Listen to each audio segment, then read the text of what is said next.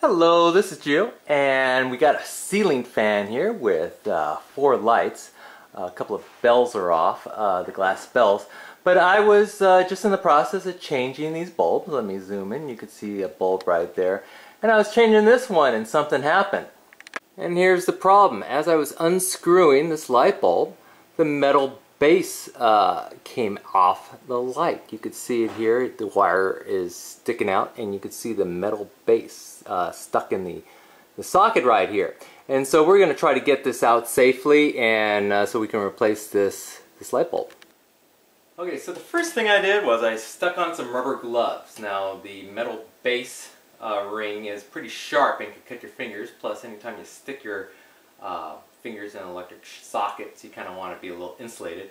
I did turn off the power not only to the light switch but uh, to the breaker panel, so um, it's pretty safe. Now, this is not coming out that easily. What you want to do is try to stick in your fingers on either side and apply pressure outward. And as you do this, you kind of want to try to rotate in the direction. Now, uh, getting your fingers in here is a little difficult. I'm actually, uh, I think probably pinching my fingers this way might work a little bit better. And I'm just going to apply a little pressure. And just try to twist it, keep it loose. This might, if it's, they're really stuck, it is wiggling. Okay, that did not work. So um, we're going to try to get some tools involved here. Okay, my next attempt, I'm going to just use some needle nose pliers here.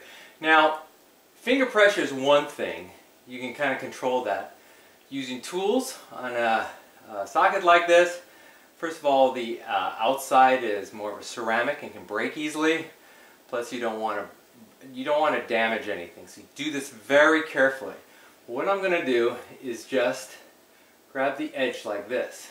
Just kind of barely grab the, uh, the ring and then try to, with my fingers and the tool, try to just rotate it around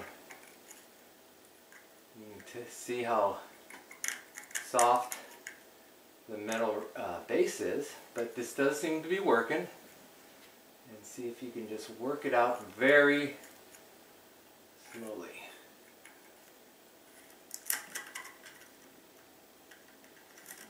There we go. I think I got it. And I just did this very, very slowly. And here you go. You could see the base right here.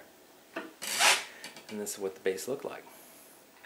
So it took me a little bit of effort, but very slowly and very delicate. You, you could see the inner metal ring, and I didn't damage that, and that's something you could damage. So you really want to go very slowly trying to uh, remove uh, these bases um, from, from the light.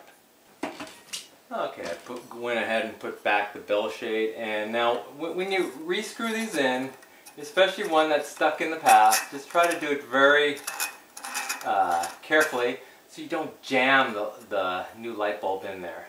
So if it just holds there, don't, don't really put a lot of pressure to it and then we can go ahead and test the lights, see how it works.